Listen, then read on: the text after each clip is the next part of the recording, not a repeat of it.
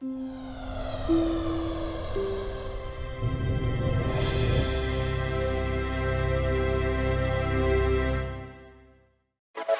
been given all your colors, unique, different from the others. You'll find a grand design is written on the canvas of your life, and I can see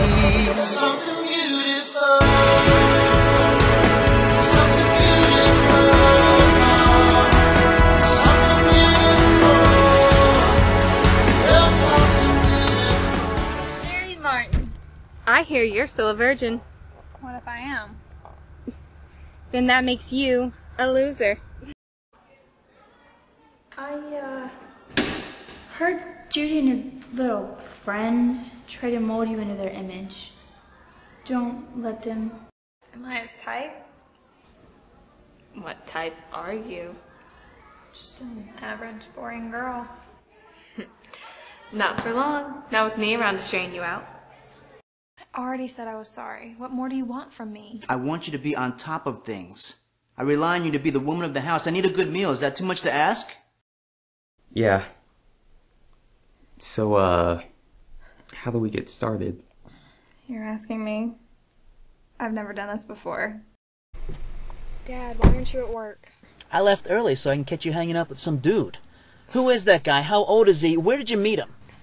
I don't see what the big deal is. Sex is fun. Everybody wants to have fun, right? Why do you do-gooders always try to stop people from having a good time? Oh, hey, honey. I, I want you to meet Gloria. Hi. Enjoying the football game? Oh, yeah. You know me. What's the score? Score, um, I believe one team is ahead of the other one. How was church? Obviously not as much fun as the football game. Now, before I go back to bed, I want you to understand you can learn all you want to at church, but don't bring your sermons home to me. I have waited my whole life for someone like you. Someone who loves me